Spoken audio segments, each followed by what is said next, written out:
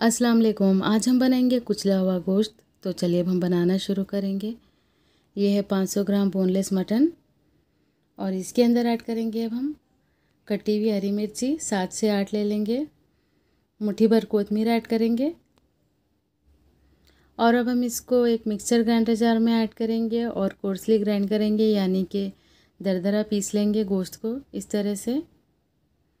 ज़्यादा बारीक नहीं करेंगे। पीस लेने के बाद में अब हम इसके अंदर ऐड करेंगे नमक एक टीस्पून, हल्दी पाउडर एक टीस्पून, अदरक लहसुन का पेस्ट दो टीस्पून, लाल मिर्च पाउडर दो टीस्पून। यह है पीसा हुआ होममेड गरम मसाला पाउडर एक टीस्पून। अच्छे से मिला लेंगे अब सारे मसाले ऐड कर लेने के बाद में। तो चलिए अब हम इसको पकाने के लिए एक कढ़ाई के अंदर ऐड कर लेंगे। आधी गिलास पानी ऐड करेंगे अब।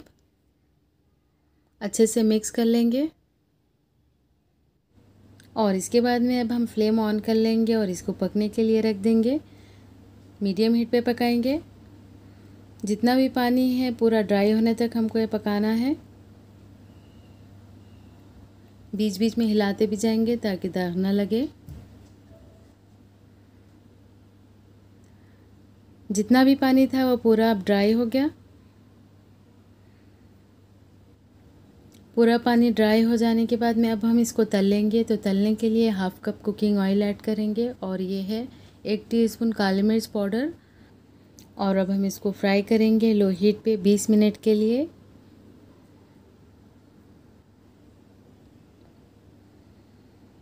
तो ये देखिए, कुचला हुआ गोश्त अच्छे से फ्राई हो गया। तो अब हम इसके अंदर ऐड करेंगे थोड़ा सा पुदीना, एक नींबू का निकाला हुआ रस। एक मिनट के लिए भून लेंगे अब। और इसके बाद में अब हम फ्लेम ऑफ़ कर लेंगे। कुचला हुआ गोश्त रेडी है सर्व करने के लिए। तो अब हम फ्लेम ऑफ़ कर लेंगे।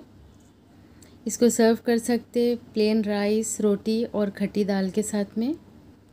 तो आप लोग भी इस रेसिपी को ज़रूर ट्राई करके देखिए और अगर रेसिपी अच्छी लगती है तो वीडियो को लाइक कीजिए चैनल को शेयर और सब्सक्राइब ज़रूर कीजिए। थैंक्स फॉर वॉचिंग अल्लाह हाफिज़।